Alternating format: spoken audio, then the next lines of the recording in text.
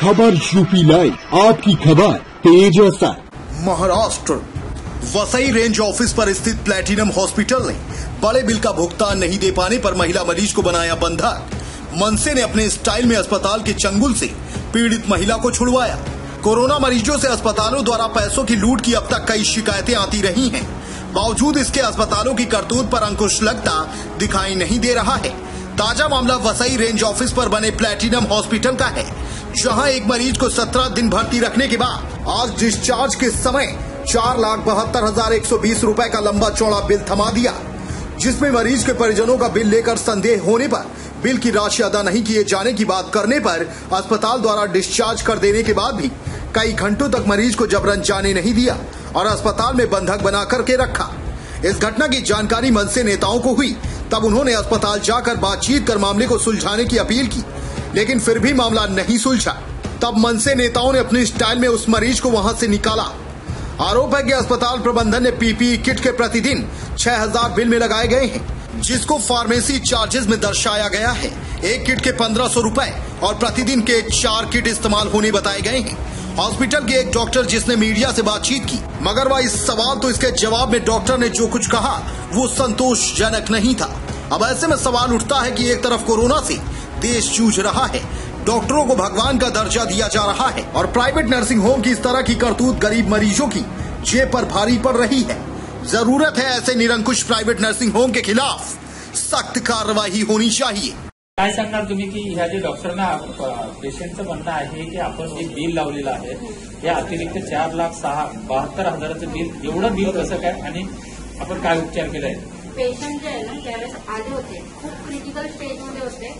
ठीक आहे. पेशंट आल्यापासून व्हेंटिलेटरवरती होता. पेशंट आज हॉस्पिटलमध्ये पंचवीस दिवस झाले.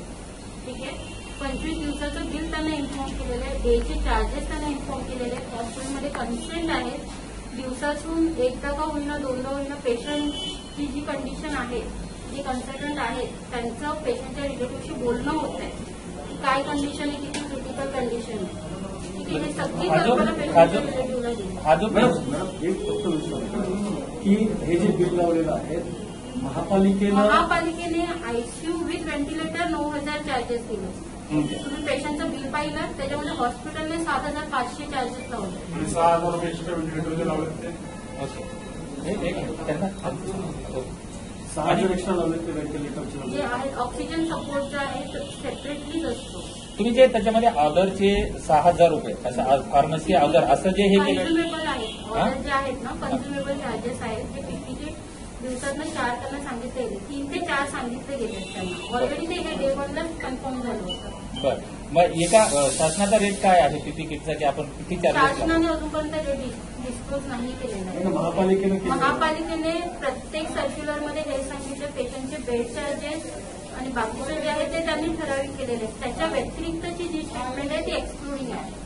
मग त्या आपण जे आपण जे त्याच्यामध्ये दीड हजार रुपये प- एका किटचा जो रेट लावलेला आहे तर ते योग्य आहे का? माझ्याकडे बिल आहे नॉर्मल बिल दाखवतो. माझ्या सासूबाई भरत कांचन भरत मेस्त्री इकडे ऍडमिट आहे त्यांचं वय वर्ष पासष्ट.